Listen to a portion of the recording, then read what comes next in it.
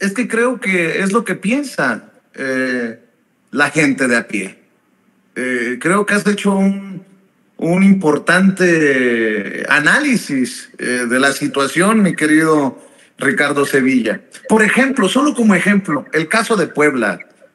Porque, a ver, me siguen preguntando, ¿por qué te enfocaste en Puebla? Porque era un bastión panista, porque la capital de Puebla la estaba gobernando el PAN, o la sigue gobernando el PAN, pero la, la va a dejar de gobernar con la victoria de Pepe Chedraui para la 4T, para Morena porque se vinieron con todo en la guerra sucia contra Alejandro Armenta, que por cierto se convirtió en el candidato a gobernador más votado en la historia de Puebla, con un total de 1.578.749 votos durante la jornada electoral del pasado 2 de junio. Y por cierto, le mando un saludo a los colegas de Sin Línea MX, desde donde leo esta nota. También estoy leyendo del maestro eh, Jacobo El Necabé, noticiero en redes, que los números en Puebla fueron contundentes. Más de 162 mil sufragios en la región de la Mixteca respaldaron cada una de las propuestas de Alejandro Armenta, virtual gobernador electo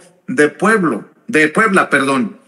Y, y Alejandro Armenta había pronosticado que Puebla le daría dos millones de votos a Claudia Sheinbaum para conseguir esos ese plan C, esos 35 millones de votos que se tenían eh, programados y se cumplió. Esto es muy interesante, fíjate, lo de la región de la Mixteca. O sea, la gente, la gente de a pie, del México profundo, más de 162 mil sufragios. Así también apoya la propuesta de la virtual presidenta de México electa, Claudia Sheinbaum, como el programa de mujeres eh, que se sentirán más protegidas y seguras, con un apoyo para ellas entre las edades de 60 a 64. Y debo de decir que esto que estoy platicando con usted, adivine quién lo ha retuiteado. Solo para, para hablar de estas cosas, mi querido eh, Ricardo Sevilla, fíjese quién retuiteó que Alejandro Armenta es el candidato a la gubernatura de Puebla con más votos en por lo menos los últimos 25 años. El saco de pus. Javier Lozano lo retuitea. Javier Lozano dice eh, en este knockout, knockout técnico eh, electoral del domingo, habrá que inaugurar una nueva etapa de trabajo, esperanza, diálogo y trabajo en común para sacar a este país adelante. A veces se aprende más de las caídas que de la gloria. Yo seguiré adelante luchando por lo que creo y lo que quiero. Los invito a hacer lo propio. Saludos, dice Javier Lozano, el saco de pus. Esta mañana, solo también como ejemplo, Eduardo Rivera, el ex candidato del PRI, PAN, PRD por la gubernatura de Puebla, ha tenido que, a su modo, aceptar la derrota. Y la derrota durísima, ¿eh? Ha sido un honor y un privilegio representar las causas de las y los poblanos y luchar por un mejor rumbo para Puebla. Muchas gracias a mi equipo, a los voluntarios, brigadistas y a sus familias por el apoyo. A mi esposa Lili, mis hijos Lalo, Ilse y Ale, gracias por su sacrificio. A las fuerzas políticas de esta alianza, así como a las y los candidatos que dieron esta batalla. Y a los miles de poblanos que me dieron su voto y su confianza.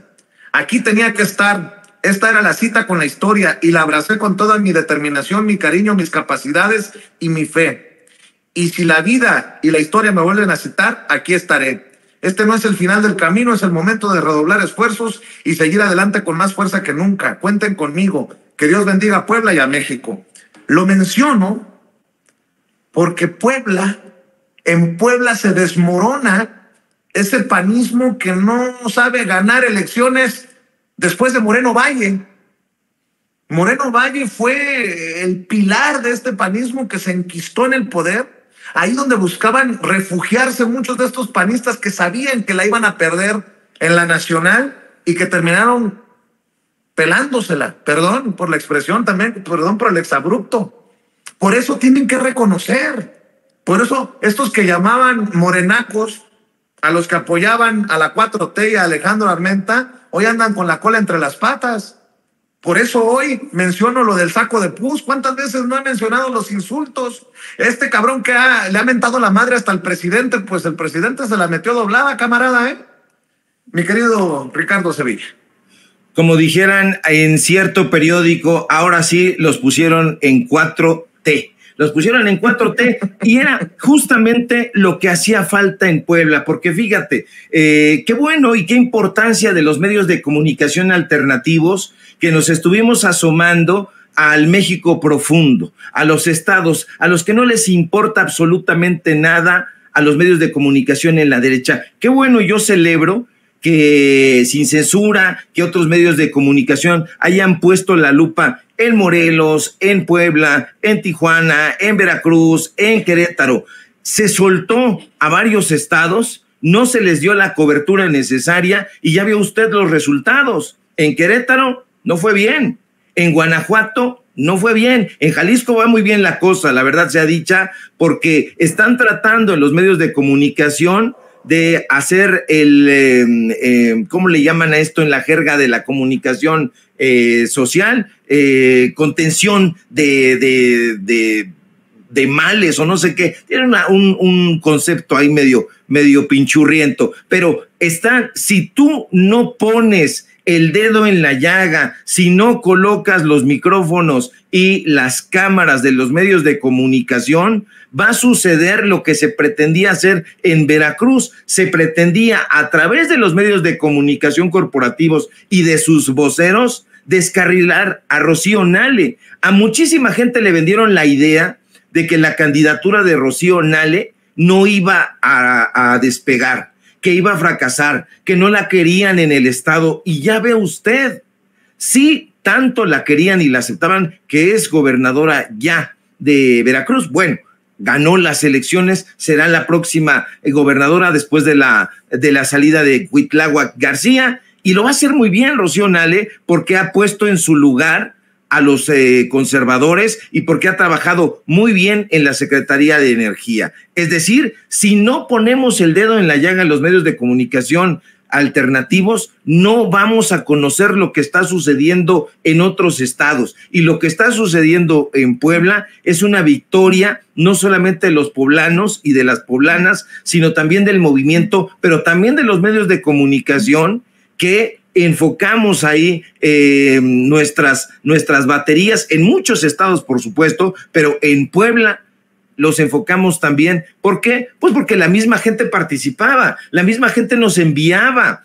Eh, sus reportes, nos enviaba sus datos duros, nos enviaba lo que estaban haciendo y nosotros qué hacíamos y qué seguiremos haciendo como periodistas independientes, colocarles el micrófono, colocarles la cámara, que es una cámara de un teléfono celular, con esos instrumentos nosotros fuimos a la guerra y creo que logramos muy buenas cosas, muy independientemente de quién haya ganado o quién haya perdido. Lo cierto es que los medios de comunicación, esos medios de comunicación chayoteros, están perplejos. Hoy mismo no saben qué hacer. Desde el día de ayer, Leo Zuckerman se bajó medio del tema y dijo, yo voy a hablar de Trump porque estoy con la cara de palo. Y mucha gente así dijo, bueno, ¿de qué vamos a hablar? Estamos tristes. Usted vio al payaso de la peluca verde tratando de darle explicaciones a su jefe Loret de Mola, porque así están las cosas. El jefe ahí es Loret evidentemente es el chacho de Roberto Madrazo, pero el, el payaso estaba tratando de darle explicaciones, hasta parecía que estaba briago en serio. Están perplejos, Vicente, y los medios de comunicación independientes no tendríamos por qué explicar